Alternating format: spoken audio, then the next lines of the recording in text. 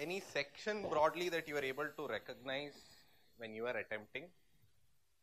Saying like you, if you've not prepared for say tribal revolts, okay? So when you write such tests, you'll realize that this is the area that I am weak at. So were all of you able to recognize that this is my weakness or this is my strength? Any question to do with Gandhi, I'm generally comfortable. Any question to do with say 1920 to 1947, I'm generally comfortable or I'm weak, whatever. You able to recognize such patterns? It's because you still have about three months of time. You should quickly realize where your strengths are, build upon that, where your weaknesses or weak areas are, and try to bridge that as well. Okay, but but this is high time that you know where you are good, where you are consistently able to score well, where you are guessing and it is going wrong. That also you should be able to very well know because on the day of the exam, you should be very clear. This area I am not going to take a guess on based on your experience from the past 20 or 15 mock tests that you have taken.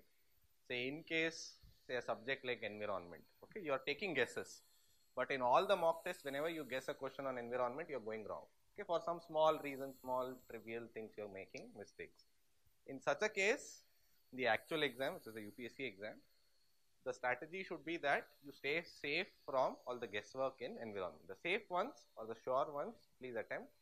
Guesswork, don't do it if you are weak in environment. Same is the case with geography, history, or whatever other subjects. So before, say, the end of April, we are still in Feb, you should have this clarity saying whenever I guess in economics, I am getting it right. Whenever I guess in history, based on whatever is your logic, I am getting it right. So, in case I have to choose the last 10 questions which are guessed ones in the UPSC exam, I will go with history and economics because these are my strong areas. And I'll stay away from environment. And again, this is my personal opinion. I don't know how you've been trained, but whoever is publicizing this in the market that UPSC exam you have to attempt 100 questions, it is absolute crap. Okay, so it never works. And people who have claimed that I attempted 100 as a result of which I sailed through prelims, that is not true. Maybe 0.1% or 0.2% of the people. In general, attempt the ones that you know, leave the rest. Okay, maybe guess 8, 10, 10, 15 at the most but it cannot be the case that you know 30 questions and 70 others are guesswork. And it is highly unlikely that somebody who's guessed 70 questions will sail through the exam. Even if somebody is putting up videos on the internet and saying this was my strategy and this is what I did, don't believe them. Okay, so people are after they get good results or so, people change their story. This is the general experience that we've also had. So after getting rank 1, people will say, this is what I did, I used to sleep all day till I got rank 1. It's not the case. You know how rigorous the exam is, how difficult the exam is. Uh, you can read blogs of people like say Gaurav Agarwal who was rank 1 in I think 2013. The last year's topper also, uh, Anudeep Durishetty, you can read his blog. A very honest, straightforward opinion he is given. And he is very clearly told that he had slogged extremely hard and not just for one year, for a period of five to six years. So that is the amount of effort that it takes. And somebody who comes into the market and says, yeah, I just studied for two hours, I'm such a smart fellow that I just got through, not true, okay? Doesn't happen, not the case with UPSC. The competitive exam, everybody works hard, so you'll have to put in your effort. Clear? Whatever I'm trying to make the point. So make sure you recognize your strengths and weaknesses and just don't start answering randomly. Okay? Yeah. Oh.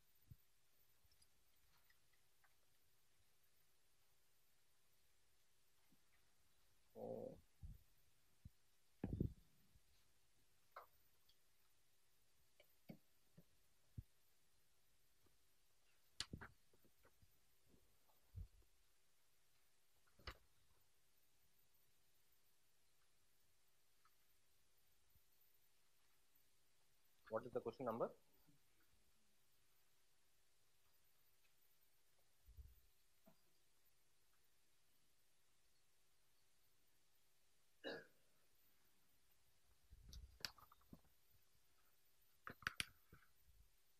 Okay, we'll do a small exercise.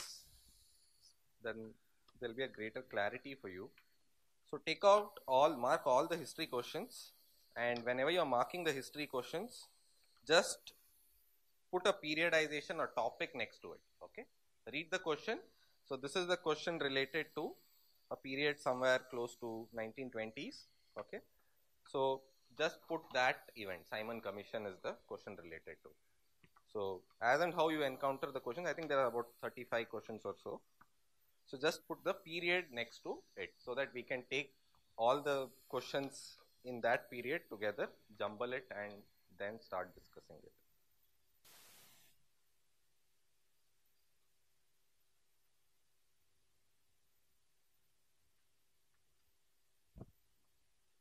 The first question that I find from 18th century is that of the question number 20. Anything prior to that? On 18th century, did I miss anything?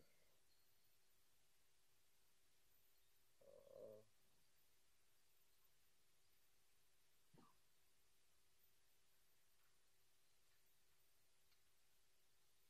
yeah. So this is probably the first question. Did I miss anything prior to this from 18th century? Okay, so huh? 27. Okay, I'll go to that next. Okay, so what was happening in India during 18th century? The Britishers had just come to India. They were not yet fully developed, or their hold on India was not yet fully developed. They're still understanding in India. Uh, is this a period when they'd already written books such as uh, translated books such as Manusmriti? Yes, no. Somebody translates the book Manusmriti, the Asiatic Society of Bengal is set up, Calcutta Madrasa is opened. What were the reasons for doing all this? Why were the Britishers doing all this?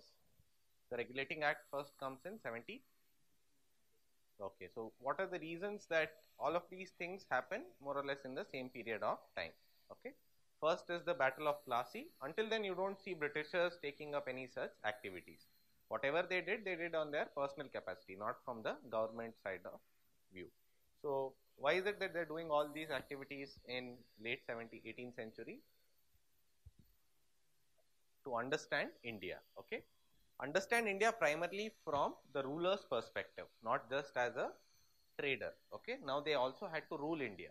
So if you want to rule a country as diverse and large as India, you have to understand how the culture here is, what are the rules and regulations in this country. Okay. The primary rule book for the Hindus that was considered important by the Britishers was the book called as Manusmriti. So how do you impose Hindu laws on Hindus? Translate the book, you make it suitable to the British norms. Okay. So this is why they get it translated. Sharia law was already in place to a small extent because prior to the British taking over India, it was the Mughals and other rulers who were predominantly of Islamic faith. So this is the reason why they take up these activities. The Regulating Act also is subsequently one of the associated events along with these translation activities wherein the Britishers are trying to understand how Indians think, how they work, how is it as a ruler that I can tame them the best make sure that they don't rebel or revolt, they become loyal servants to the British government. Okay, so this is the generic idea of 18th century British perspective. This is how they were thinking. So now take take this question and how would you answer this? If if you have no idea, that is the part. How many of you got this answer? Correct. D. Okay, no D has not been typed here. Uh.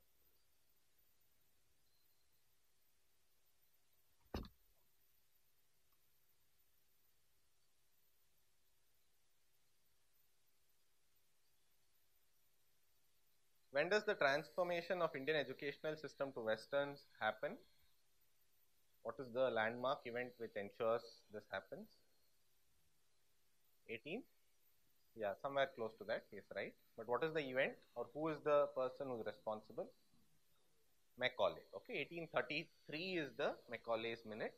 So after that point, the point number one starts. Okay, that is when they start to sort of shift Indian academics towards the Western orientation. Here they are still new, they don't want to take such a harsh measure. Any ruler wouldn't do it because he's still new and still understanding India. Export of agricultural products is balanced by imports of gold and silver. This is true. Maktabs, the high, centers of higher education, taught Persian and Arabic languages. Uh, not entirely true.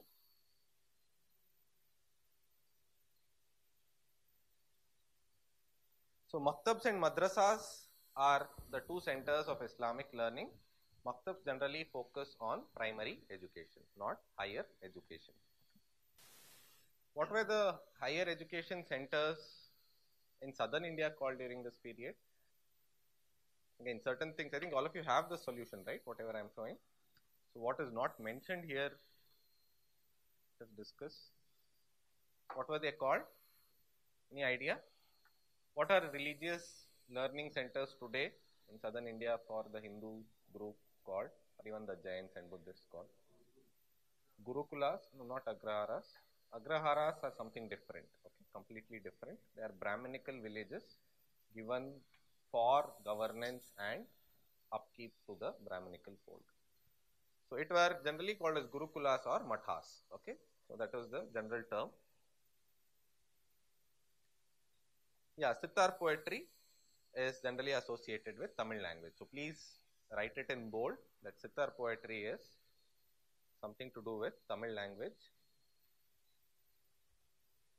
but it was of ancient period, not this period. Okay.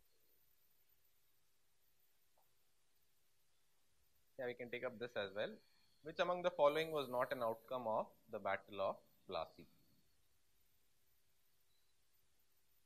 Answers? Please don't look at it, but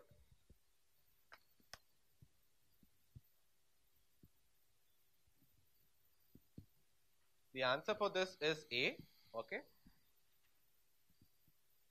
Because, yes, because, why is the answer A? Or how is it? The rest of it is fairly simple. You can very easily eliminate this, okay? After that,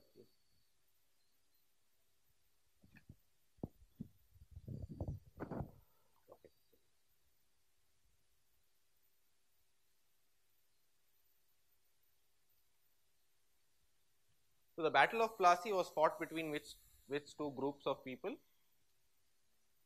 Yeah, Bengal and the Britishers. Okay, was the Mughal emperor involved in this? When does he get first involved?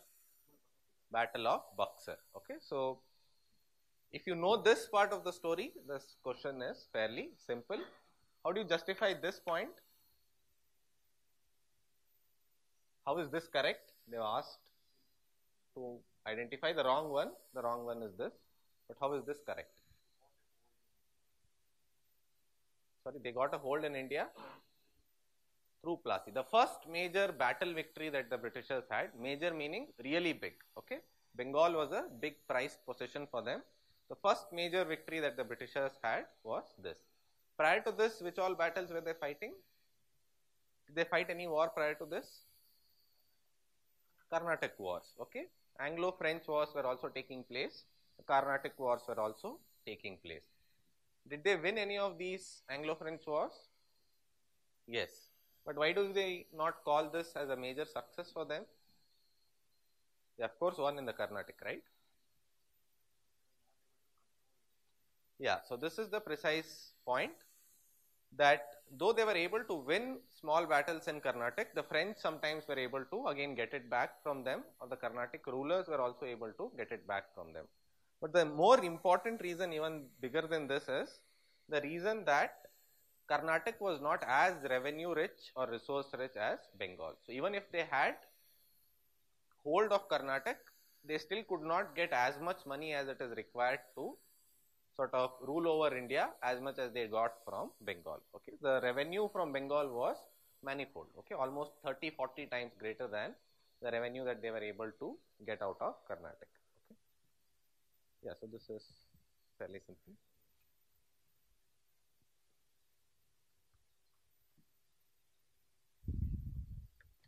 Where is this question? I think I missed this.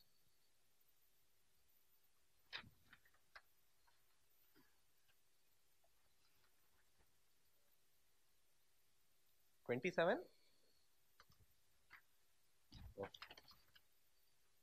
Okay. So how many Anglo-Mysore wars were there? Again, I'll have to go a little bit outside of what is there because this anyway, you have it in your answer script. So how many Anglo-Mysore wars? Four. Everybody is clear? How many uh, wars did the Britishers fight with Marathas? Three. How many with the Sikhs? How many with Awadh?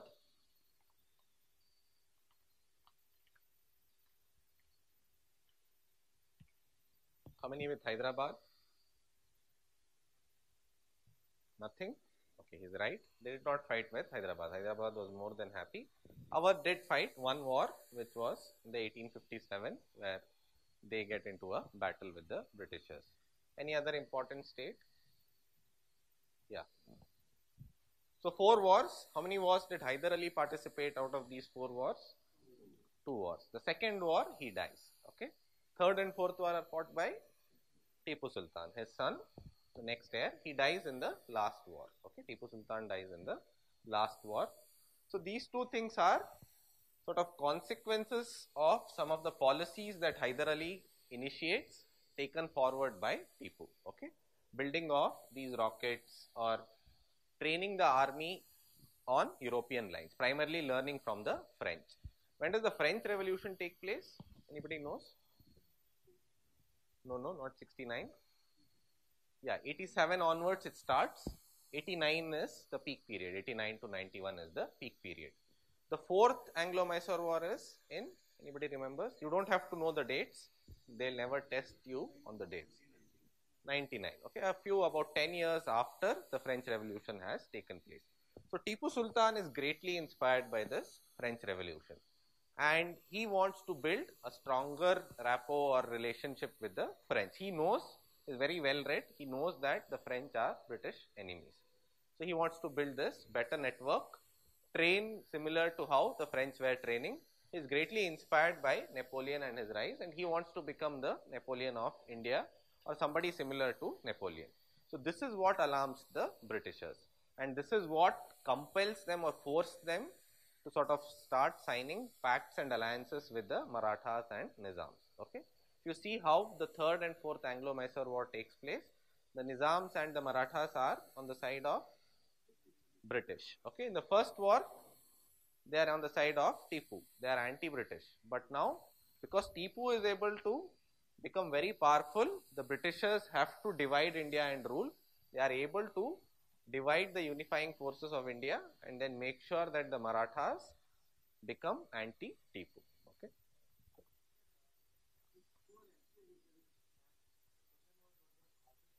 Yeah, exactly. I sort of agree with you. These were not entirely the exact facts or exact reasons why uh, the first Anglo-Mysore war took place but they were sort of indirectly associated with it. That is that once the Mysore rockets were uh, invented, the Britishers got very scared.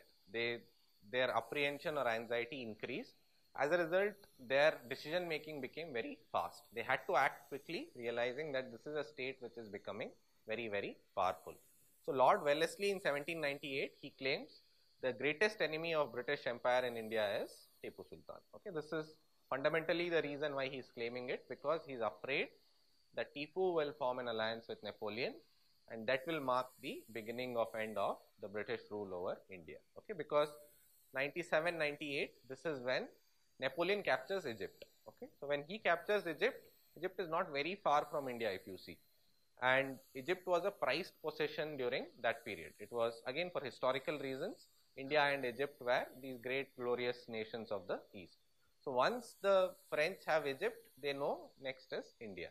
And if the British lose India, then there is no hope for them in the European world because they lose all the money. They cannot dominate Europe the way they did in the subsequent years. So history was something else. We're probably speaking French if that had not happened, right? So if Tipu was successful, our medium of communication would be French. Uh, what is this question? Yeah, this is the answer to that. Yeah, Pitt's India Act. Again, why was the Pitt's India Act passed? This was passed after the Regulating Act. So, what is the fundamental aspects of this Pitt's India Act? What were covered? Sorry? Very good. Separate the trade and administrative functions of the East India Company. So, they created two bodies, the Board of Control and Court of Directors to look into two different aspects of governance. They realized that both if the same person is managing, then there will be conflict of interest, profits cannot be ensured. So, this is the fundamental reason why Pitt's India Act was passed. What was the reason for passing the Regulating Act? Regulate, yes. How? What was the reason behind it? Yeah, they had, what was happening was after they capture Bengal, 57, 63, 64, the Britishers now have Bengal. And 65 to 72 is also called as a period of dual government. Okay, Robert Clive was in power. And what slowly happens is Robert Clive becomes very, very rich, extremely rich. So rich that he is able to get elected to the House of Commons in Britain. But the British also have their own hierarchy, like we have our caste system here in India. They have their own system where only the nobles are allowed to be part of the higher chamber of uh, legislature. Okay. So people like Robert Clive slowly started saying that I am also a wealthy man, I should be also allowed to contest elections and become a member of parliament. But this was not acceptable to people of royal bloodline, okay, the nobles and kings and their relatives. They said, how is this common man who has just lived in India for 20 years become extremely rich and now he is challenging our position to power. So at this point, they realized that the company officials are getting very, very rich primarily because of corruption and not fair trade. Okay, and the company is becoming extremely poor. The company was more or less in debt during this period. It was not making profits, making losses. And this is what they are trying to regulate. The regulating means trying to regulate the personal income of company officials and also trying to regulate the income of company at large. They want to make sure the company is profitable and not just its employees. Okay.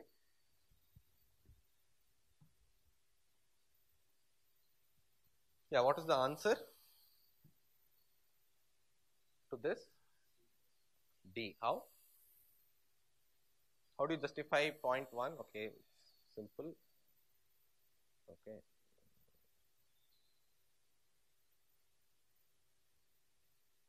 Yeah, the thing is fairly simple here.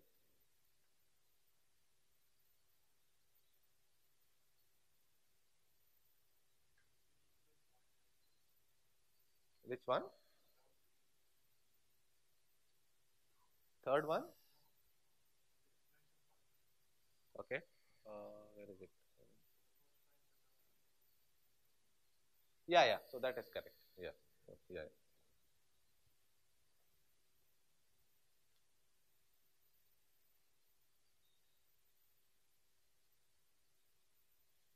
Okay. Next question from 18th century.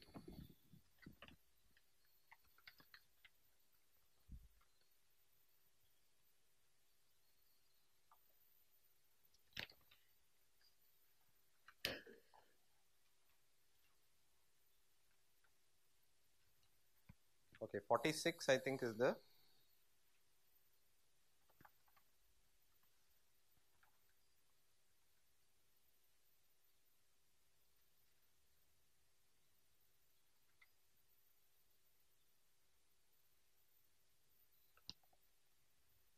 Which among the following are likely causes for British success in India?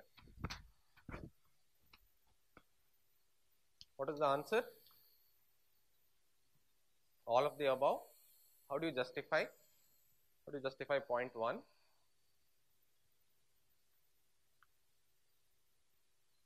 How did point 1 lead to success? Caste system, okay, and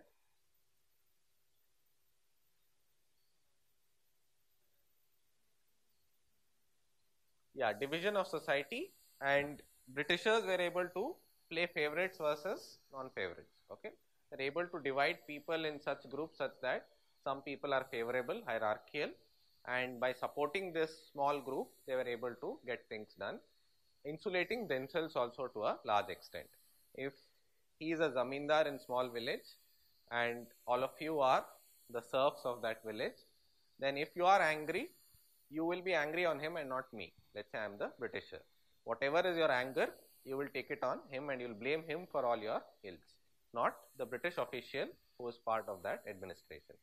This was one way of ensuring that they remain far off, but also able to get what they wanted. Why did the Indian rulers have inferior arms? What was the number one reason for this? Tipu had good arms, yes or no? Tipu had fairly good arms. Why is it that the others did not have good arms? So, access to technology was there, yes or no? So, if somebody wanted to buy or procure high end technology, he could. But why is it that Indians at large had inferior arms? What must be the reason? Uh, no, the Britishers only were the threat, let's say. Gunpowder, no. Tipu had it, or at least few others had it. The Britishers had it, so the same seller or merchant would have sold it to them as well. There's only one primary, simple, straightforward reason. Just think. Oh, no. You can train, always train people, right? So, not that difficult. Whoever sells arms in general, even today that is the case, you have these illegal markets. Or if you also go try to buy a illegal gun, the person selling you the gun will show you how to shoot it also. Okay? Then you can practice, of course, at your backyard. So, training is possible. Training is not bigger challenge. But what must have been the challenge? Raja Ranjit Singh, all of you have heard. So he also, if you remember, had a very good army, right? And his army was also trained in the European fashion.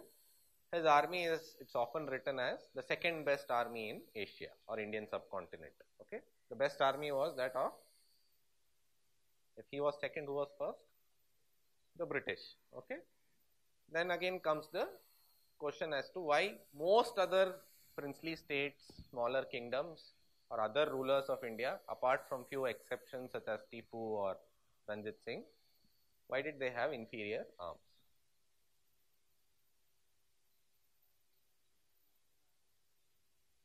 Uh, well organized, okay, he is almost there, money, okay. To build strong, powerful armies, you need lot of money, okay. And you can have a lot of money only if you have a strong state. If you have a large kingdom with a proper administrative system, only then you can have a strong, powerful economic model that exists. In this case, in India, what was happening, most of the money that Indian kings were making, that was being taken away by the Britishers in the name of subsidiary alliance or something or the other, would come up with various reasons and take all the profits from Indian kings. If you want to buy the best missile that is available in Europe, you have to pay a lot of money. The Britishers made sure by putting a resident in the court of Indian king under what treaty? what system? Subsidiary alliance that the Indian king never is able to procure any major firearm or any other important thing or material of warfare from anybody abroad. Okay. Why were the Indian rulers allying with the Britishers? What was the reason for Indians to do this? For the succession of, but why would they ally with the Britishers? How would that help? You are right, but how would that help? Protection, yes, okay. Apart from that, why would an Indian prince or a king he has two choices. He can either go form an alliance with Tipu Sultan or say let's say the in case of Marathas, they had choices of allying with the Tipus or the Nizam of Hyderabad or with the British. What happened? They allied with the Britishers. Why did they do so? They had their primary interest, vested interest of succession and money and all these things. But why British? They could have chosen Tipu saying, is our neighbor, our Indian, all these things. Why did this not happen? Very good. There was no idea of nationalism during this period. So, the king of Marathas, he saw Tipu Sultan as a neighboring, neighboring kingdom, okay, a neighboring country for that matter, okay. Tipu was never part of this grand idea of India. Tipu was a foreign country, okay. So, a member of foreign country. So, it is doesn't make sense to either ally with Tipu or with Britishers. Both are foreigners. So, whoever serves my cause, I will ally with them. But more fundamentally, what is the even bigger reason? Acquire territory. Uh, one second, yeah, acquire territory how?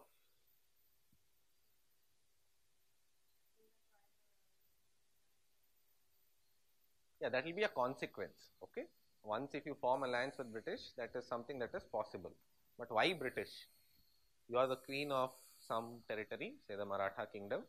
You have two choices, either British or Mysore, and you are choosing British. Why so? Personal rivalry, of course, true. Personal rivalry historically, okay. Tipu's father was my enemy or my father's enemy, so why should I choose this fellow? Most importantly, the British army was the strongest. Okay, the British were the most powerful people. So even today, if a political party wants to form alliance with another party, who will have all the trump cards or who will dictate terms?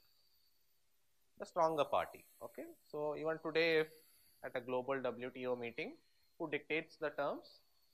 US, US, Germany, the bigger countries which have more money. So here also it was the same case Britishers had more wealth, more power. Everybody wants to be friends with somebody influential. Okay, so this was what was happening. Next question. Yeah, 48, I think.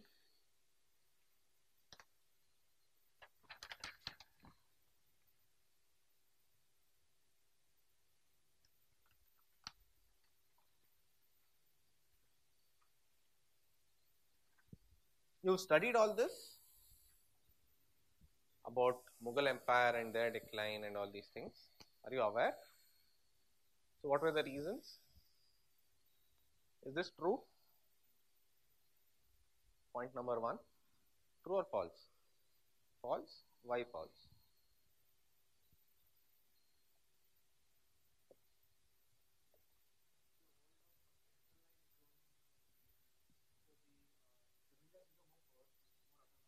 Yes, excellent. So, this is what actually happened. This is what always happens in case of a feudal state. Okay. Weaker the emperor or weaker the center, stronger the periphery. Okay. Stronger the center, weaker the periphery. If you have a strong leader at Delhi, the chief minister of any other state will not be that aggressive. He will be in a much more toned voice, he will talk to the ruler of Delhi. Okay. But if it is a coalition government where the ruler needs support of the ruler of Bengal, Rajasthan and so many others, then the king can be arm twisted to do things that he doesn't like. Okay. This is always the case. Any question related to feudalism on India, this has always happened since medieval India or even ancient India also. Whenever you have a strong ruler, when Ashoka was there, everybody else was in line they would never dare challenge Ashoka. The moment Ashoka dies, his son is not that interested in power, everybody declares independence. Okay, Pushyamitra declares independence, northwest of India, the Kanvas and Kushanas again subsequently come. The same story happens. Okay. Next phase is during Harshavardhana also. Harshavardhana is there, very strong, very powerful. The moment he goes, everybody else declares independence. Okay. This, any examples for this? Point number 2.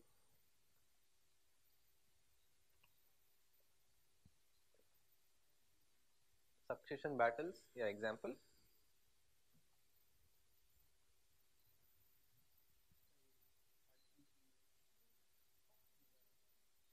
Uh, Syed brothers, okay, that is also a fair example. The creation of succession states itself. Okay, you know the idea of succession states. The moment after the collapse of Aurangzeb, you have new kingdoms or empires coming up. First was the kingdom of Bengal, set up by who set it up? Alivardi Khan, Murshid Quli Khan. These people set it up. you, you have Awadh again. Awadh was set up by erstwhile royal people of the Mughal court. Okay, Saadat Hussain Khan, who was the prime minister during the Mughal Empire, and he says these people are not very capable. Let me create my own kingdom. Who set up Hyderabad? The Nizam of Hyderabad, Chinkilich Khan. Okay, Nizamul Mulk he was called. Nizamul Mulk is a title. Okay, not his name. Chinkilich Khan was his name. So all these big shots of Mughal Empire, they go out, they create their own independent new kingdoms, primarily because of their mutual rivalry. Again, Chinkilich Khan belonged to a different Islamic identity as compared to Sadat Hussein Khan. Okay, he had a Turkish lineage, whereas the others had Afghani as well as, uh, yeah, again different form of Turkish lineage. Okay. What is this? How important was this?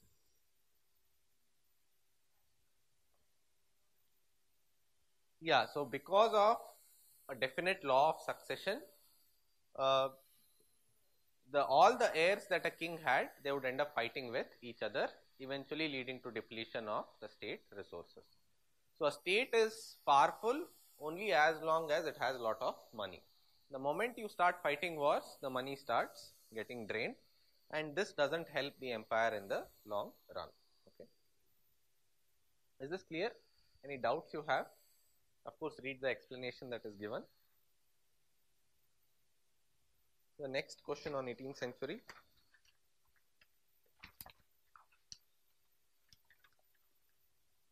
Or close to 19th century would also do.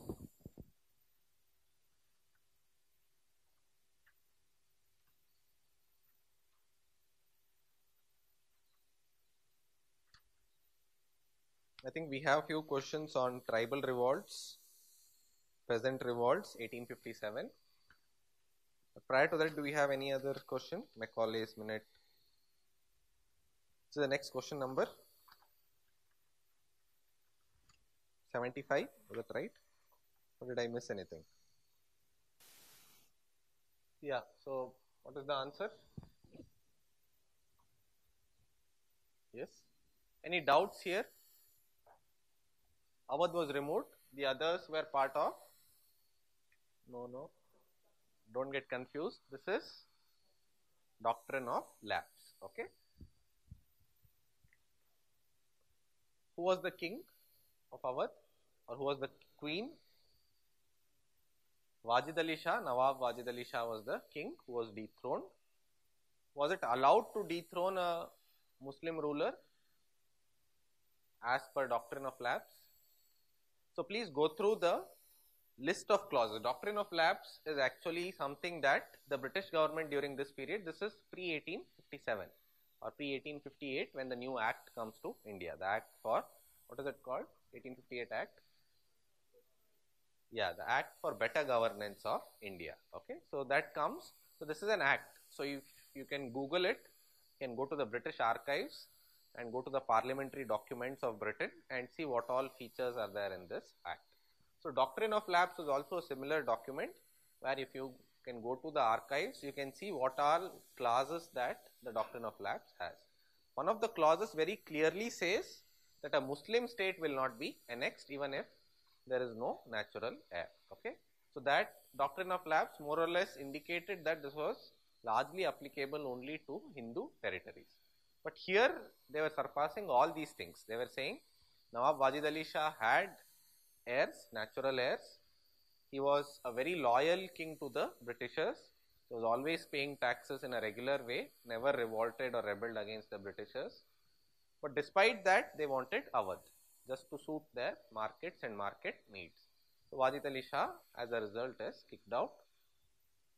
In essence, not following the or over or bypassing the doctrine of lapse itself. Okay. Please make note of his name and his wife Begum Hazrat Mahal's name. Okay.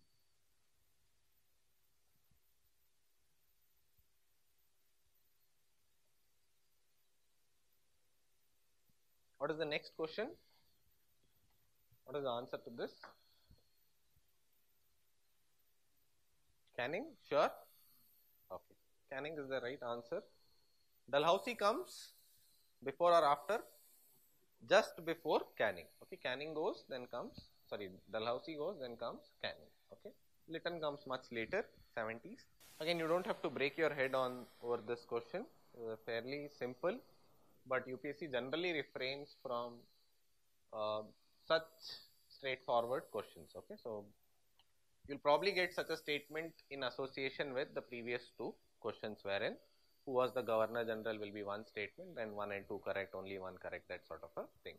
Just a fact that you have to capture and note it down in your book. The answer is fairly obvious. Tantia tope was a fair a strong governor of the army and he was betrayed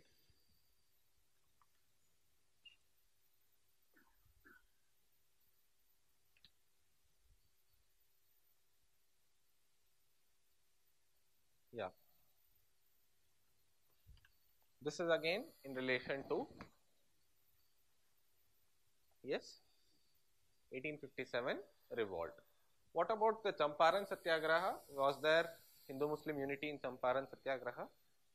What was the Champaran Satyagraha all about? Tinkathia system and what was the Tinkathia system? 3 20th of land should be used for indigo cultivation. Not one third please don't make don't get confused with this. It is just 3 20th of all the land for indigo cultivation. And where is champaran? Bihar okay? So indigo cultivation was prominent first in bengal and bihar. Bengal there are mutinies and uprisings in 19th century itself okay Titu Mir and others, Pabna revolt, Indigo rebellions. Few events take place in Bengal. As a result, even those rebellions, Bengal back then is West Bengal plus Bangladesh. Okay, so Hindu Muslims population was fairly large, but still there was very strong unity. Britishers tried to divide to a small extent on this religious lines, but it doesn't work out. Even here, uh, in general, the question of Hindu Muslim unity doesn't come up because largely it was Hindu population, but even then no instances or mention of such divisions exist. Here was the Hindu Muslim unity. What was the primary reason for this? Yeah, Turkey. Okay, immediately after the end of World War One, what was the treaty that is signed to divide Turkey? Yeah, Treaty of Sevres. Treaty of Sevres because Turkey loses in the First World War. The British and the other allies sign this treaty they want to bifurcate the large empire of Turkey and they also want to move the seat of Islamic Caliphate away from Constantinople. So, this is something Gandhiji realizes can be a important tool for unifying Hindus and Muslims and as a result there is a strong unity between the Hindu youth and the Muslim youth. Largely a youth movement but Gandhi being a playing a paternalistic role Uh, August movement of 1942. What is this referring to? Quit India movement. Okay, 8th August 1942 was when the resolution was passed.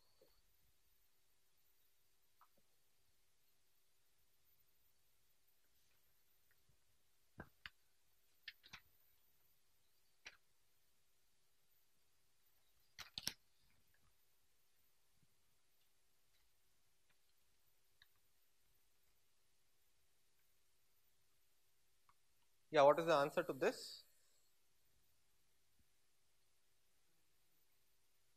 Chittor, where is Chittor? Rajasthan. Okay, why was it not affected? Okay, where is Jagdishpur by the way? Not West Bengal, I think it is in Bihar. Okay, Raja Kuwar Singh, he was from Jagdishpur. He was the king of or the noble of Jagdishpur. Lucknow, Western UP. Okay. Jhansi again. All three were epicenters of 1857 revolt. Chittor was not. Why? Why did Chittor not participate? Rajputs, yes. The Rajputs as a whole did not participate in the 1857 revolt because because No, they were affected. Everybody was affected. It is not that they were not affected. they were also paying lot of surplus amount to the Britishers. Why is it that South India doesn't participate in 1857 revolt? It doesn't. All of you I think know all this. They don't, right?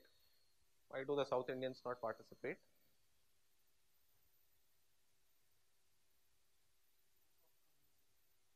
Uh, no, not entirely. Some message was there, people were aware. So you have, let's say, the king of Mysore. Okay, Tipu is gone. You have a Wadiyar dynasty. The princely state of Mysore exists. The king of Mysore did not participate. He said, very good. So the reasons primarily again you will have to go to the causes of 1857 revolt. 1857 revolt, two or three primary reasons were one, it was a sepoy mutiny. Most of the sepoys came from Bengal and Bihar and Uttar Pradesh. Okay, and again they came from primarily one or two castes from these territories. Okay, and it is these castes which were apprehensive of consumption of pork and beef. So this was one primary reason the most severe form of oppression towards the peasants was in these states itself. Okay, so these people then again became the foundation stone for this revolt or rebellion. They became the masses who supported this rebellion. Zamindari system was also one of the primary reasons why lot of zamindars, talukdars, etc. participated in this revolt. South India, we did not have this architecture. What was the land revenue system in practice in South India? Rayatwari system. Okay. Permanent settlement was in practice in the territories where the revolt of 1857 took place. The permanent settlement was much more severe. It affected the not just the bottommost class but also the middle class comprised of the zamindars or fairly educated or upper caste citizens of that social segment. Okay. Whereas in South India, this whole architecture did not exist. Okay. So, as a result South Indians decide not to participate. Same is the case for Rajasthan as well. The oppression was not as stark or severe as it was in say UP or Bihar. Okay.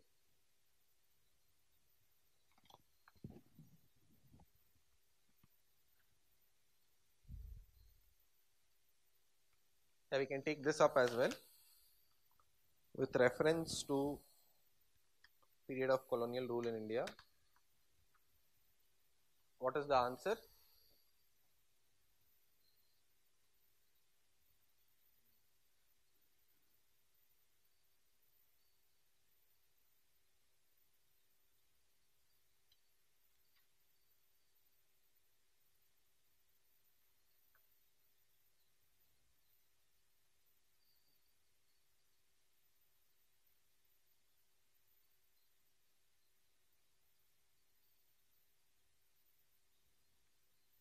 Yeah, the answer is B. Okay. So, but what do you understand by these home charges? How was it manifested? How was it seen on the ground? Any examples of home charges that you know?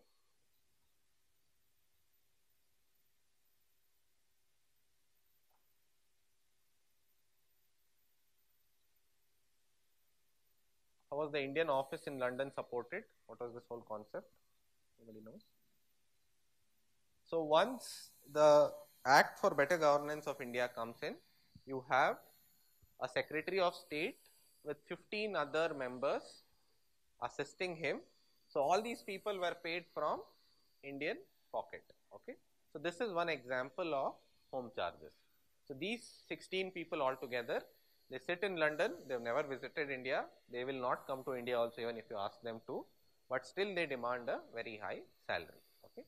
This is a typical example of home charges and all of them get very high pensions as well. It is not just salaries, very high pensions as well. Okay. Both of them comprise the home charges.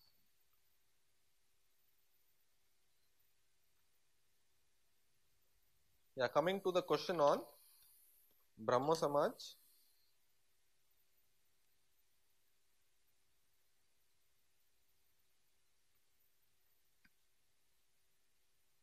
Who was the founder?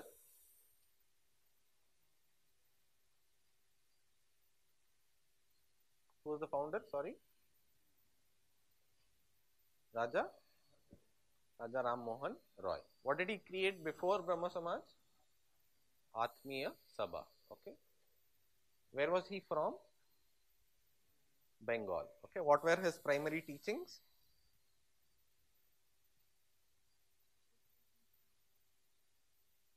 Very good. Good teachings from both West and East. Okay. Next. So, if he is saying good teachings from West, is he supporting capitalism? Because by now capitalism had started in West. He is somewhere close to 1820s. Okay. When does capitalism sort of start in the West? Approximately. Sorry? Yeah, mid 1750s onwards. Okay, that is when capitalism becomes big in the West. So, as we move towards close to 1800, capitalism is well established in the West, the factory system and all these things. So, what do you think? Now, all of you agree that Raja Rammohan Roy was good things from West and East. So, now what is his take on capitalism then?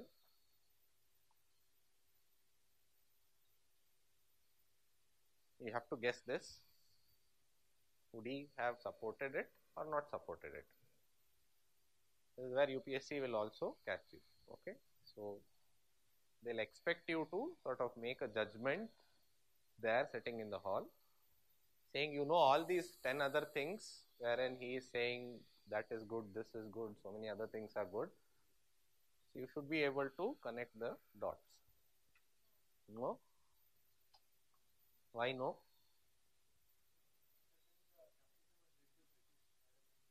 Okay. So, yeah, so he would say let's have capitalism led by Indians. This is what he actually said. Okay, he is absolutely correct. He said we should have British style capitalism, but not just restricted to the Britishers. We should encourage our businessmen, our merchant community to also take up trade in a global fashion. Okay, so he was a very well read man. He could speak or he had knowledge of 11 languages. Okay, so it was very alarmingly surprising that none of us can. How many speak more than say 4 or 5 languages here? Anybody? How many speak just 2 languages? Just 2. Okay, 3? Anybody with 4? Okay, so, so 11 is a big num big shift from wherever you are. Okay, so uh, and please learn more languages, whatever is the case, that helps in your brain development also. The more languages you speak, the brain also sort of starts engaging more and more and your thinking capacity also apparently increases. Okay.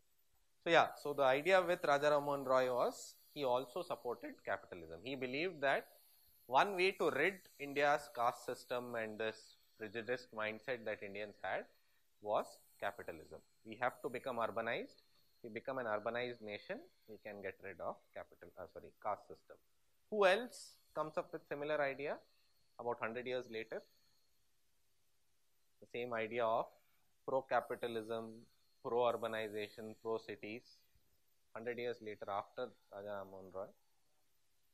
Uh, yes, partly Nehru, but somebody comes up with even more stronger no again link it to caste system not just capitalism. Sorry? Yes very good. Ambedkar also his primary premise also when he talks about annihilation of caste and such ideas he also is supporting the ideas of capitalism. He is saying that if we become a large urbanized conglomerate then the idea of whatever was our traditional mindset it is tend to will tend to go away where are more number of love marriages happening in India? Cities or rural areas?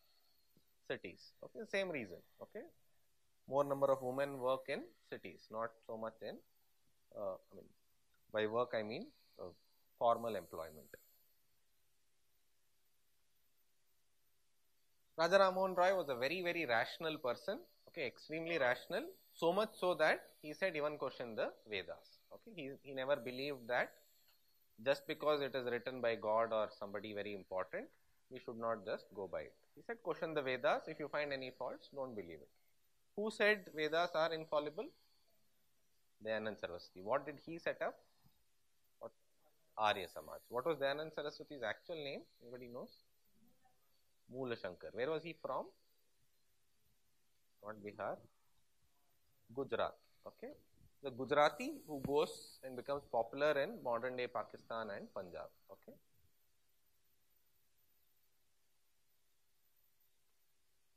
So 1 and 2 is correct when it comes to this question. The third part is wrong. Okay. He started newspapers as well. Uh, his name Raja Ram Mohan Roy. You know the names?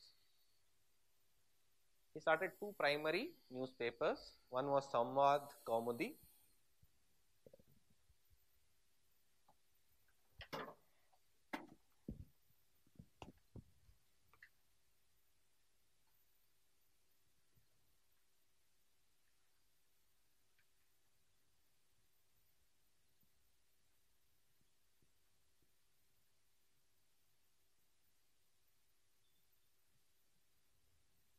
Okay, these are the two papers that Raja Ram Mohan Roy started.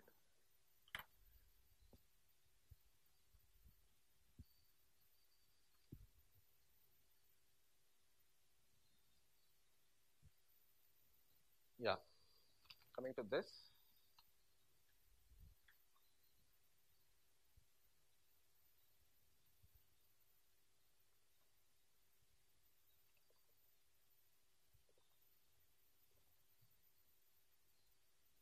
Reasons, explanations.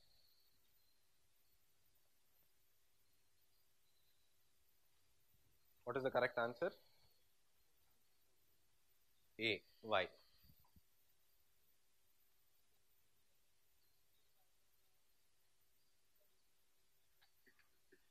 Okay, excellent. They believe that yeah, it, it will help, okay. The British rule for India will be beneficial. The same, take the same learning from Raja Ram Mohan Roy, extend it to 20 years later, okay. They still believe that British rule is good for India, will help India overcome some of its deficiencies, okay. Other reasons for them to believe so, underline the word educated middle class, okay. Okay. So, uh, okay, uh, partly yes, not yes. Uh, they were affected.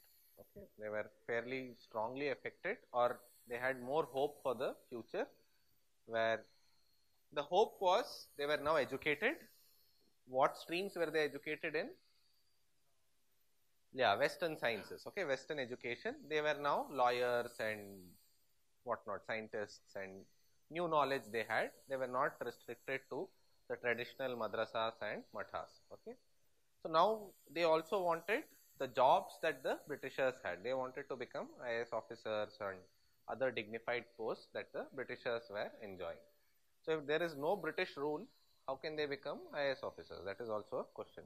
What will they do with the modern Western science and scientific knowledge if no king, if a kingdom comes in and the king is not interested in setting up scientific laboratories? So their vested interest was the British stay, then we can get jobs, we can ensure our progress as a community or as a class. So this was one of the primary reasons. These are the primary reasons which lead to the creation of various organizations such as the Indian National Congress down the line. Okay. The motivation for all of them is the same that now we have some some knowledge, some new knowledge which they want to monetize. Okay. If the government starts going back on its policies, then it doesn't help them. Okay. If a kingdom comes up, if a new king comes and he starts patronizing dance and music, what will these people do? It doesn't favor them. Much like how all of you, if I ask how many attempts should UPSC give, today you will all say more better because you are all writing or you might say just two attempts because you have not given any attempts. 10 years down the line you will say no, no, we are getting all old IAS officers, we don't want this. So just restrict it to one attempt or restrict it to certain other criteria. So as of now what suits you, you will vote or you will think on those parameters. Okay, next question from any other question from 19th century?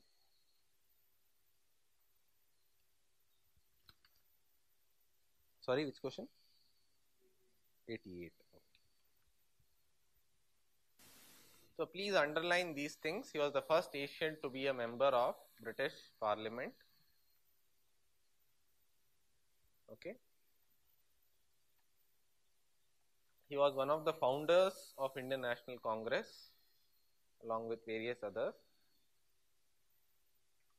It is not mentioned here, but please write it somewhere. Drain of Wealth, the book that he wrote was Poverty and Un-British Rule.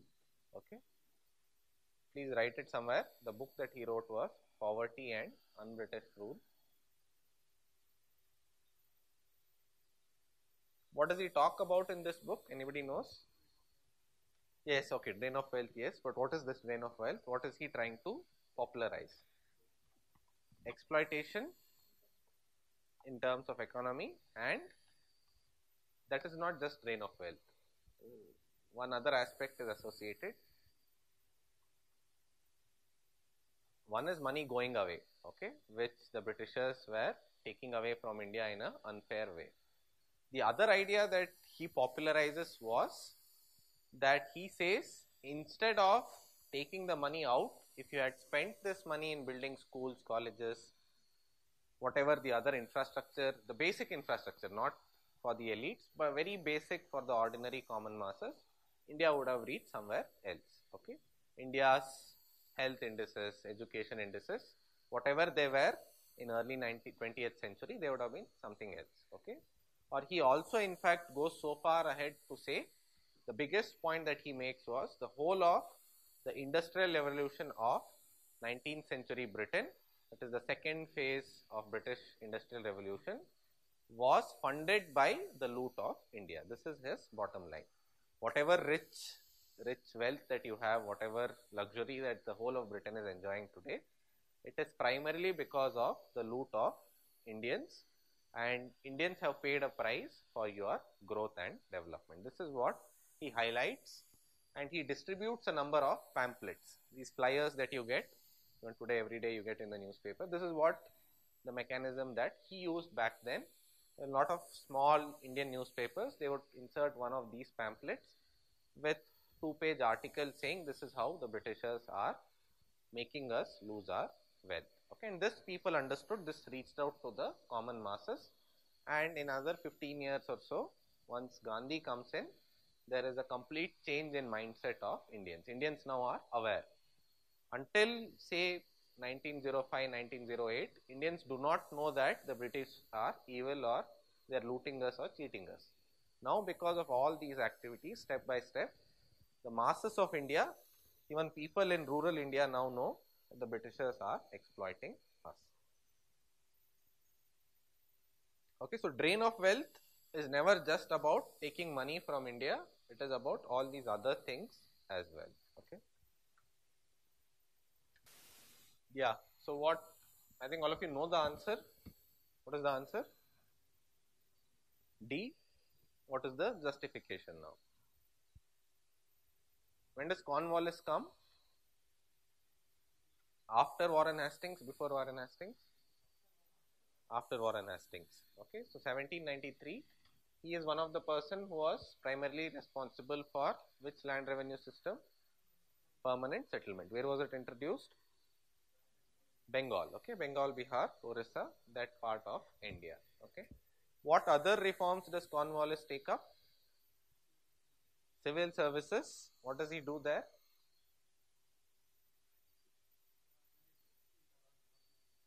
Yeah, so what he does is he realizes that prior to this, there was just one officer or one civil servant per district who was responsible for revenue administration, civil administration, judicial administration, and this sort of brings about conflict of interest. Okay, if I am such a person, I am the DC of some region and Cornwallis came.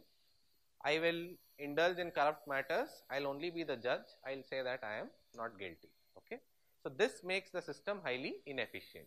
So, what he does is he separates the judicial functions from civil and criminal functions at district level. He also takes up police reforms. Okay. For the first time, the organization of Indian police system takes up or makes its beginning wherein each district is divided in terms of thanas okay and each thana is headed by a thanedar or a local inspector and this is again to make sure law and order is installed in the lower roots of India. Why law and order is important for Cornwallis? Revenue. Again, he is a member of East India Company. Purpose of East India Company is to make profits, as much profits as possible. The moment there is a war or disturbance or loot, theft, burglary, anything, it disrupts trade. Okay. What is the trade that is happening in Syria today? Anybody knows? All of you know the country Syria? Yeah. Almost zero trade. Why? Who will want to invest in a war-torn country? Why very little investment happens in say states such as Kashmir or Nagaland or Mizoram, these places? Stability, remoteness and stability. Okay. So, say some company invests 10 billion and tomorrow the government or people start breaking down all the equipments that are installed, nobody wants to take that risk. That is why states such as Maharashtra, Tamil Nadu, Karnataka get more and more investment. So, police reforms were one other important aspect of Cornwallis's. He takes up certain judicial reforms as well, Cornwallis. What do you understand by trial by ordeal? Anybody has heard of this term? He does away with trial by ordeal. Who's heard of this term? Trial by ordeal. What is it? No. Anybody? So, trial by ordeals are these, not just trial by ordeals, he also does away with lot of inhuman punishments that were meted out during this period. Trial by ordeals are a good example for this is that you make a person go stand in front of a temple and say that you will break a coconut on his head and if he is speaking the truth nothing will happen to him or you throw a baby from top of a hill saying that if it has not done any mistake or not done a crime then nothing will happen to him or her because God will protect the said person or burning oil is poured on somebody's hand and if he is truthful nothing will happen. This is still practiced in many countries across the world even today. So, such systems are generally called as trial by ordeal. Okay. So, God will make sure that if you are speaking the truth you will be protected. So, he said this is highly irrational does not make sense. So, let us stop all this. Okay. So, whenever you are writing not now few months down the line when you start preparing for mains in a more serious fashion you will have to mention all these things. So, somebody asks what were the good things that the Britishers did for India, do not restrict your answer to just railways and postals and all these things, because you will have to stand out from the crowd. The person who is reading answers, first answer paper railway, second answer paper railway, per day he will read some 30, 40 answer sheets. Every script if it is just railways, postal and some two other things, he will get bored. So, you will have to show certain other points which I am very sure 8 out of 10 people will not write because they won't have gone so far ahead to read and revise. Please make note of such things whenever you are preparing even for prelims exam.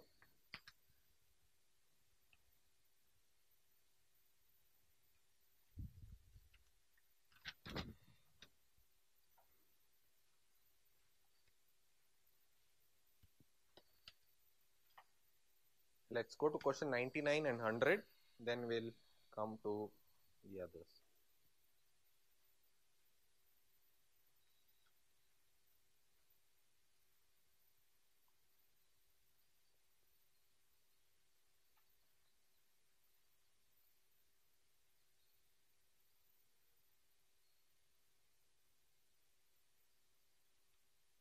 Yeah, what is the correct answer for this?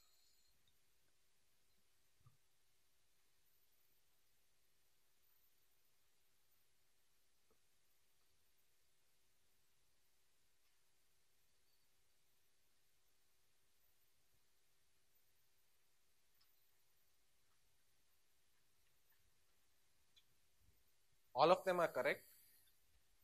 Okay. What is the dual system that we are talking about? What is the dual system?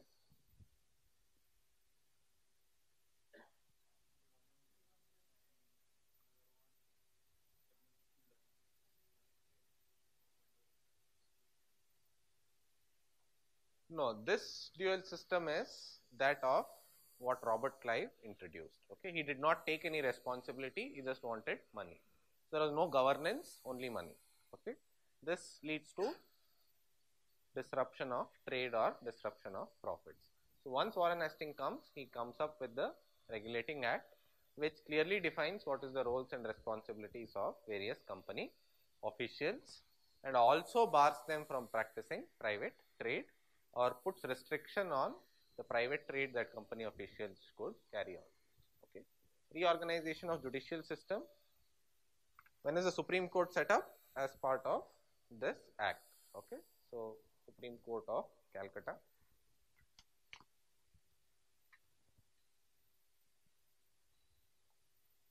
Yeah, please make note of these two things. Sadar Diwani Adalat and Nizamat Adalat. Diwani meaning civil, financial matters. Nizamat Adalat meaning judicial, sorry, criminal matters.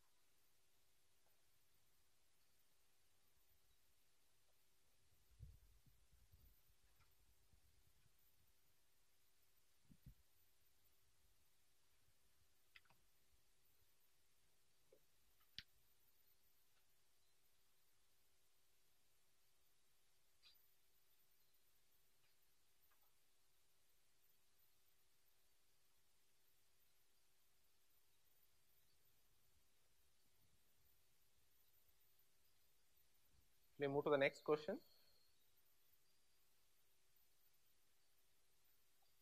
Okay, I think some of these we have already discussed. Purification of civil services that is introduced reforms to the civil services that were in practice during this period. Pay handsome salaries to the company servants. Why should he do this? What is the advantage?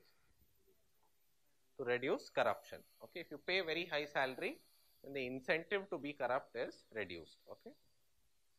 Next, this I think I discussed revenue reforms in terms of land reform. Okay, permanent uh, settlement. What is the crux of permanent settlement? What does the word permanent here mean? Fixed, fixed, and one other aspect. Fixed and permanent. Permanent meaning very long term, not 2 years, 3 years, 70 years, 80 years. Okay, permanent settlement actually was for 70 years, 80 years, 100 years also in certain cases.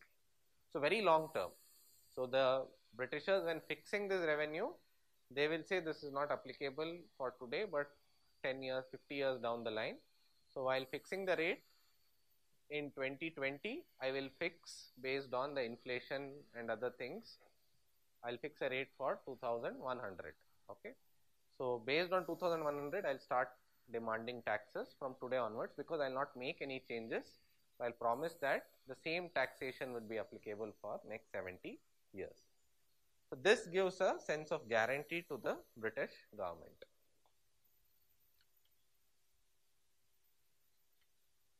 Let us move to the moderate phase, question 97.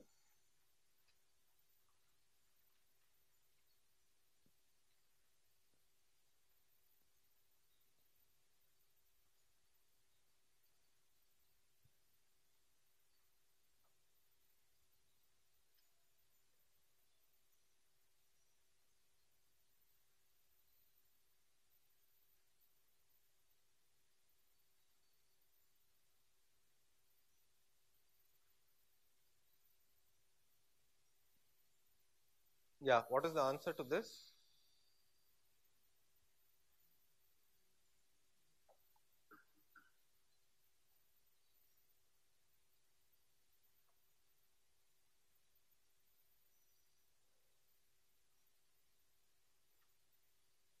Yeah, the answer that they have given is wrong.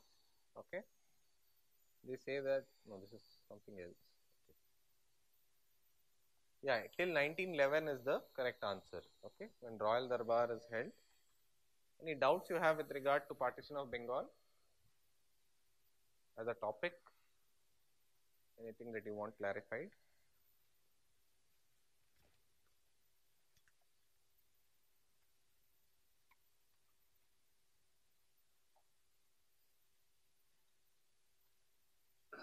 Yeah, coming to the Rowlatt Act, what was it saying?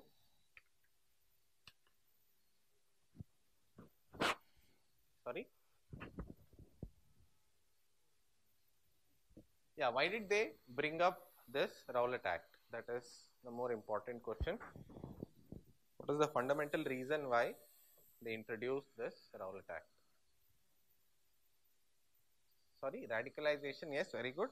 Apart from that, please make note of this. Rowlatt Act is officially known as Anarchical and Revolutionary Crimes Act of 1919. This itself can be a multiple choice question saying Anarchical and Revolutionary Crimes Act of 1919 refers to give four different options.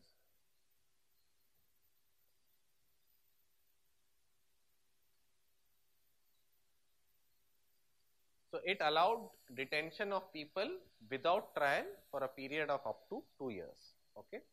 So, this is what made people start protesting against this act. Was Gandhiji back in India by now? Yes. Was he participant or did he participate in the Rowlatt Act? Okay. Yeah. He was part of it or he protested against it. It empowered the police to search a place without warrant, put severe restrictions on the freedom of press.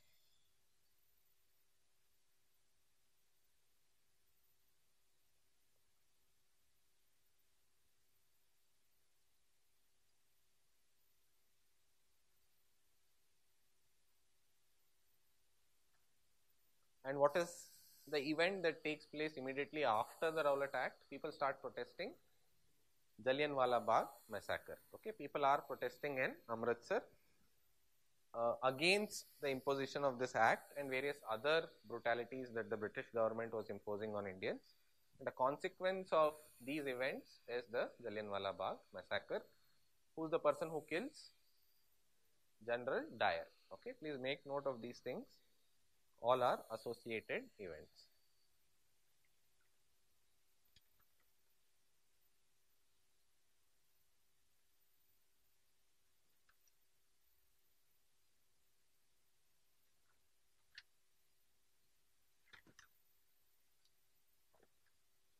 let us move to Gandhian phase where question 87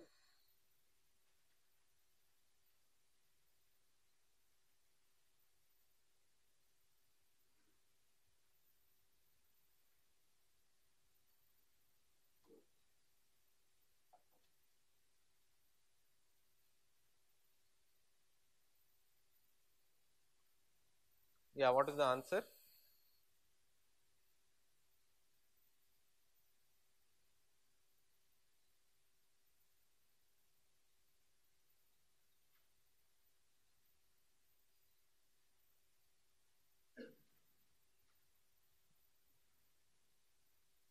So, here again not just this event, let us consider all three events together the Champaran Satyagraha, the Ahmedabad mill strikes as well as this event.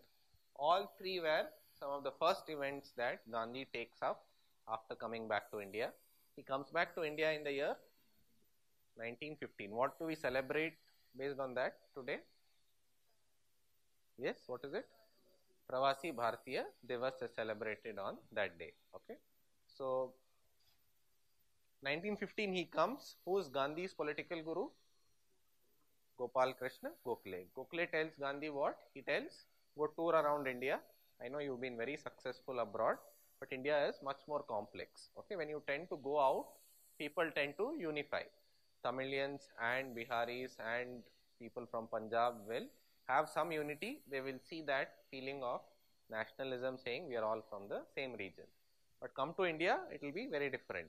Tamilians will hate Kannadigas and some, something else will happen because of which Gokhale tells Gandhi that you go travel around India for a year, don't make any judgments, don't make any political speeches, Even if a reporter asks for your comment, don't utter a word. This is what Gandhi actually does. He travels in the trains, he goes to the hinterland of India, tries to understand India in a much better fashion so as to organize not just the Congress but in future the freedom movement of India. The first plunge that he takes is in the Champaran Satyagraha. This is almost one and a half, two years after he is landed in India. Okay. And these three events take place success one after the other, Champaran, Ahmedabad and this event. So, the basic architecture of how these events work or how these protests are organized are all similar. Okay. Gandhian ways, non-violent, trained people, using of masses, not just the elite people. He believed that ordinary people can be a strong force to challenge the Britishers. This is what the moderates did not agree or accept prior to this. They believed that only educated middle class or the elite sections can bring reform or revolution. Okay. So, primary reason for the 1980 Kheda uprising was crop failure and people are demanding that remission in tax payment. They don't want to pay taxes because they themselves have very little produce enough to make them self-sufficient in their sustenance.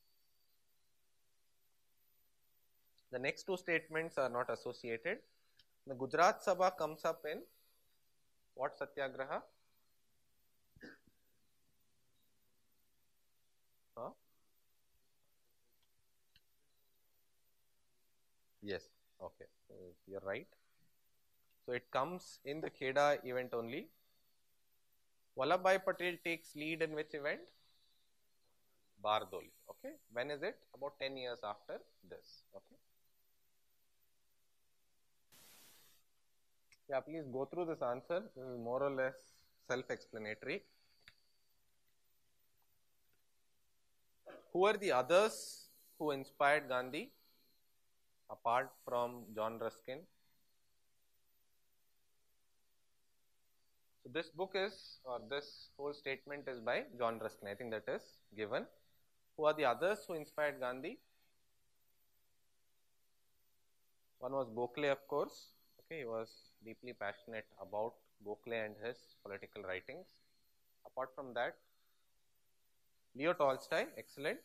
So, Leo Tolstoy during this period was writing about community farms or community living and the model of Gandhi ashram is more or less based on some of the ideas that Leo Tolstoy propounded in his books. Okay. Leo Tolstoy was a Russian author. Apart from him, Henry David Thoreau again a poet, author. He also inspires Gandhi. The message of dignity of labor is sort of derived from Henry David Thoreau and Leo Tolstoy's works. Apart from this, Gandhi takes inspiration from the Bhagavad Gita. He is also deeply passionate about both the Vedanta philosophy as well as the ideas given in the Bhagavad Gita.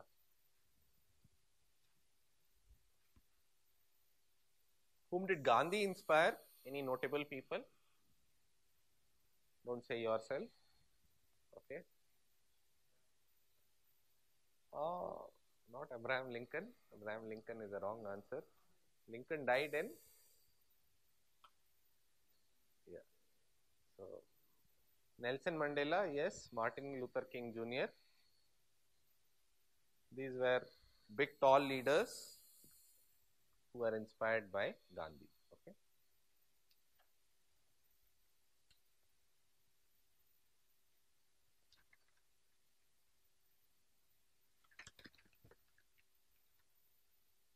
Yeah, we missed a question on Ripon.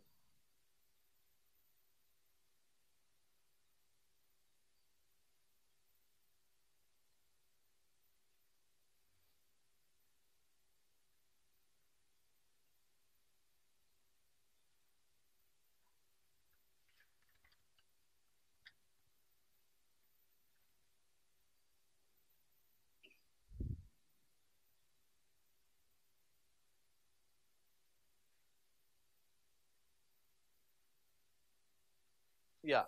So, Ilbert Bill, what was this Ilbert Bill all about?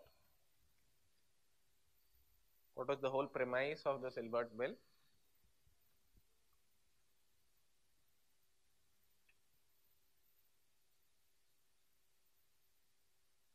Hmm? Yes? Trying Europeans by Indian judges. And what happened to this bill? It was passed, rejected. What happened? It became controversial, yes. But what happened finally?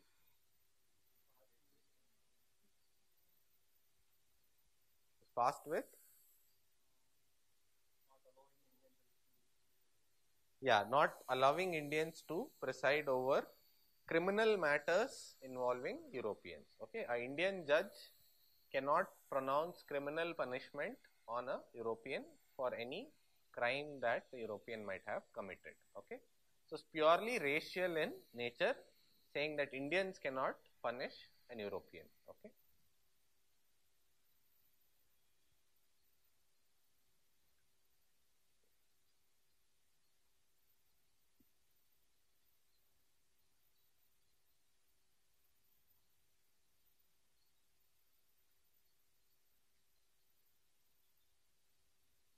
The compromise state that the bill was again passed or amended was that they made sure that even if an Indian judge sort of wants to pronounce a punishment on a European for a criminal matter, that would have to be seconded by a European judge. He would have to give the same judgment copy to a senior European judge only if he agrees the punishment is valid. If the European judge refuses, then the Indian judge is powerless. Okay, even if there is all the evidence of crime having been committed by the European. Please remember Ripon, just write in big words next to this Ilbert Bill controversy, Lord Ripon. Okay. During the tenure of Lord Ripon, other racial legislations by the Britishers apart from Ilbert Bill that you can think of? Was this the only one? Sorry, yes? Arms Act, very good. What did the Arms Act say? Yeah, so firearms, if Indians wanted to carry, Indians would have to take prior permission from the district administration whereas Europeans are free to carry firearms. Okay, so Europeans can roam around with a gun and can threaten Indians if they feel threatened by an Indian, whereas Indians, even if they feel threatened, they cannot do the same. Again, the racial angle being that Indians, if we allow them free license to carry firearms, because they are from a third world country, not very educated, not very civilized, they might end up killing and shooting people whereas Europeans are civilized and they know how to control firearms. This was their logic. Okay, there were others as well. There was the Black Acts, the Lex Loci Acts, okay, mostly to do with how properties are inherited. If you are a Christian, it is simpler or easier to inherit property. Okay, certain smaller other legislations also exist directly pertaining to racial identities of Indians as opposed to the Britishers or Europeans.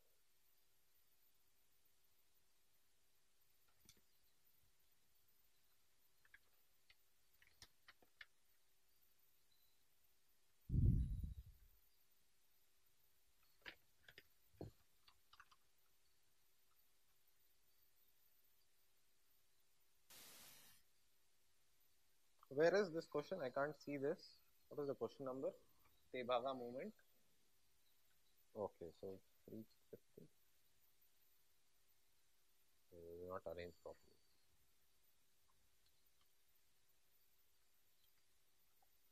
Okay, so the Tebhaga movement is a different movement. Uh, when does this take place? Anybody knows? 48? No, little 46. Okay, just before India's independence wherein one third of tax was demanded by the landlords from the sharecroppers. Okay, so there's this beautiful movie called as Chittagong. Anybody has watched it? A Hindi movie. Okay, it was a national award winning movie. in 2013 14. You can download it from torrent. Uh, I don't know if that is the popular thing nowadays, but uh, yeah. So uh, fairly interesting movie. Again, talking about India's independence, the whole Surya Sen and his associated comrades. So, uh, Tebhaga movement is also depicted in this storyline, largely restricted to Bengal and Andhra Pradesh, this movement, because it was to do with sharecroppers and the landlords or zamindars taking their revenue from these sharecroppers at a large margin. Okay.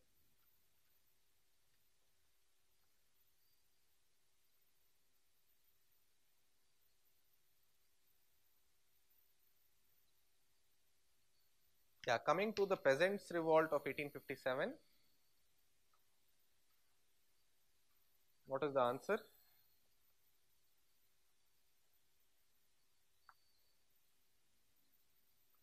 So there are one or two important peasants' revolts, okay, uh, being the Indigo revolts, the revolts in Maharashtra, okay. All of them had this common tune of the Pabna revolt. All of them had this common tone of organizing legal battles by forming unions. Okay, the Pune Sarvajanik Sabha played an important role in Western India when the Deccan riots started against the Britishers. The Pabna Nadia revolts as well as the Indigo battles in Eastern India also. Again, enlightened men and their supporting groups, people such as Satyendranath Banerjee, they participated in such revolts and provided the backbone or necessary support that was needed for the peasants to fight legal battles.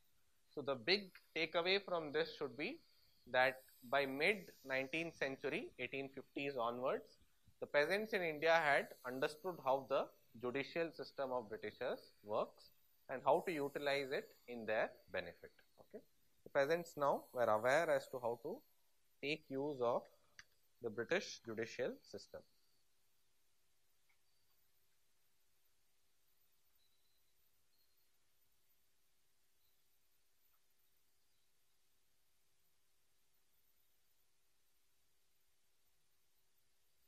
Okay, there is a small correction here. Okay. In the second statement, the movements were targeted specifically on money lenders and poor outsiders were left untouched. Okay. Though is not part of it. So they never attacked blacksmiths, carpenters who were also outsiders, not part of tribal territory. Such people were not attacked. The rich money lenders or other timber merchants and goldsmiths, etc., were attacked. Okay, small correction. So you have the Kol mutiny, the Santhal uprising, and subsequently the Munda uprising. All of them having the same basic architecture, wherein the money lenders were attacked. The outsiders or money lenders were called as dikus. Please make note of it. You're all aware of this. They were called as dikus, D-I-K-H-U-S and they all wanted to bring in Satyug. Okay, Satyug meaning the historical or mythological era where everything is justified or just and honest.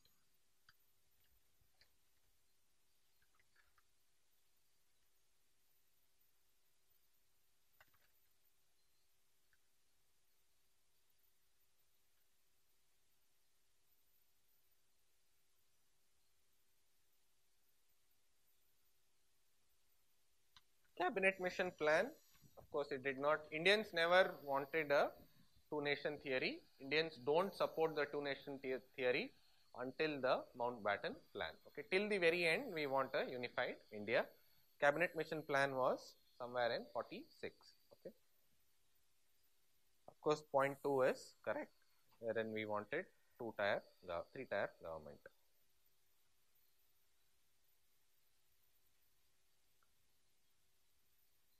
Direct Action Day, again called by Jinnah, talking about complete, independent, autonomous, sovereign Pakistan. Okay, the Muslim League doesn't want to compromise anymore. They're tired. They say that enough is enough.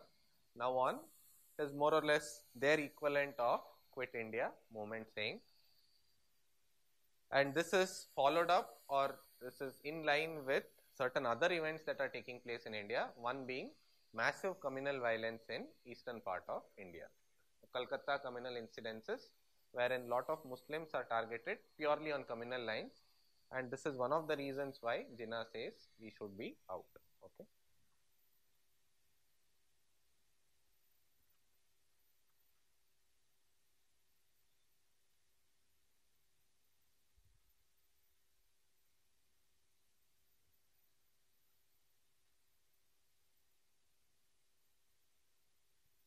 Yeah, both the statements are wrong here. So they did not have any major grievances against the Government of India Act 1935.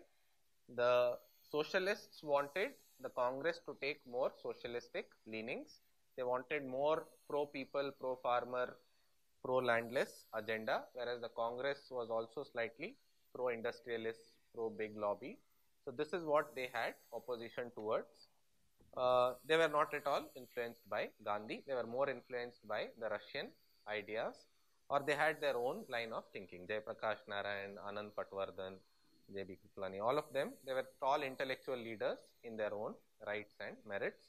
Even people such as Bose and Nehru were their followers. Okay.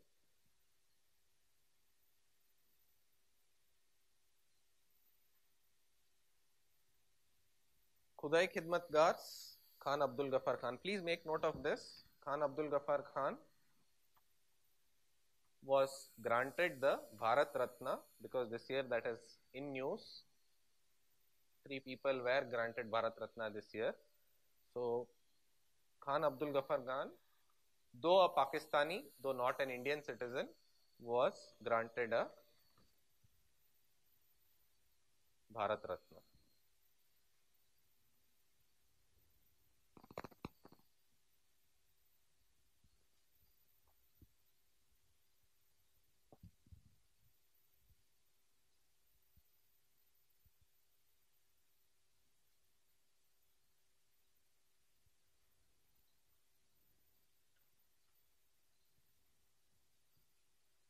Non-cooperation movement, as we discussed with Khilafat and non-cooperation, both were in tandem. So there was a very strong Hindu-Muslim unity here. So option two can be easily eliminated. There was no idea of high membership fees. The membership fee was high, but it was not necessary that you have to be member of Congress to participate in this revolts. And there was a strong association or participation in non-cooperation movement of non-Congress parties as well not just restricted to Congress. Of course, the membership fees of Congress was reduced in the coming years, a few years later, but this was not nothing to do with non-cooperation movement or its success or failure. Simple.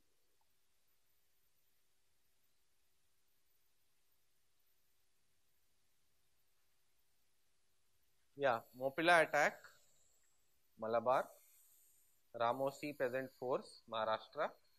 Please make note of Vasudev Balwant Phadke, a very important revolutionary leader, one of the earliest revolutionary leaders from India. Okay, a firebrand leader from Maharashtra. Kuka movement, Punjab, Pabna revolt again to do with indigo and zamindari system in Bengal. Okay, please write this.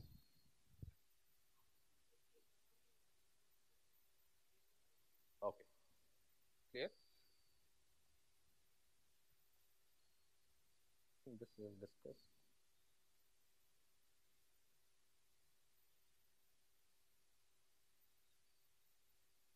Yeah, about individual satyagraha.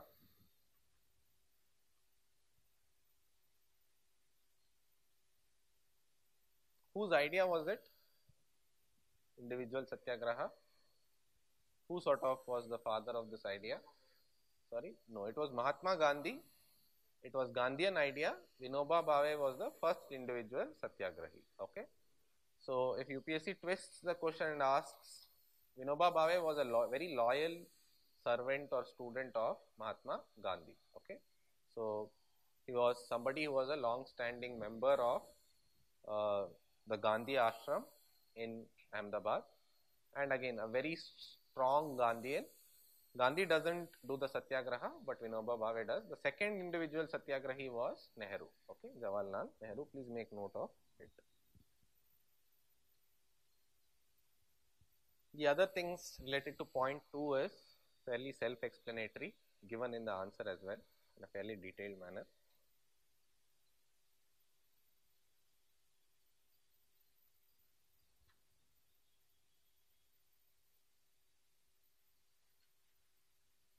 Simon Commission is one such event which brings into unity the whole of India, all the different factions of India, including Hindu Mahasabha. There are three major groups. One, the hardline Hindu groups. One was the Muslim League, which you can say was a hardline Muslim group. And then you had the Congress, which had liberal Hindus, liberal Muslims, as well as all other colors of Indian society. So, all of them had different views during this period, but Simon Commission was able to unify all of them because it heard the interest of all these groups. Okay.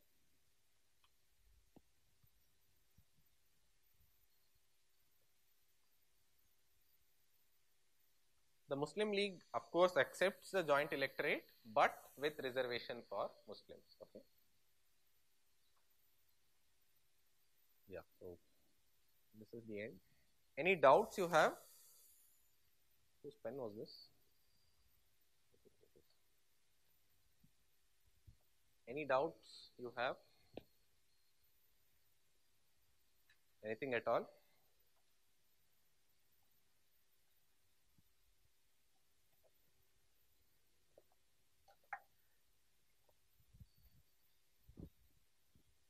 Please categorize your answers, go home, see which area you made lot of mistakes. You made mistakes in 20th century history, sort of revise those topics. Based on this test paper itself, you should now have some idea as to a lot of questions from in and around 1857 revolt, lot of questions on generic themes, not specific things as to who did this, that, when it comes to 18th century history, because it's a very broad topic. They will not ask who did what, they'll ask the general features of British rule, features of Muslim, uh, sorry, Mughal rule, all these things. So 18th century in general, the questions will be on those themes, larger, broader themes. 19th century also, it will be larger, broader themes, mostly around 1857 revolt, around Indian National Congress, or certain other smaller events such as the peasant tribal uprisings. Okay, most of the questions you saw were around these topics. 20th century as you enter, you will have more pinpointed, straightforward, fact-based questions related to Gandhi and other events. Okay. When you prepare also, please bear this in mind. It should have general understanding of 18th and 19th century India, a very thorough pinpoint accuracy understanding of 20th century India, okay, related to Gandhi and others.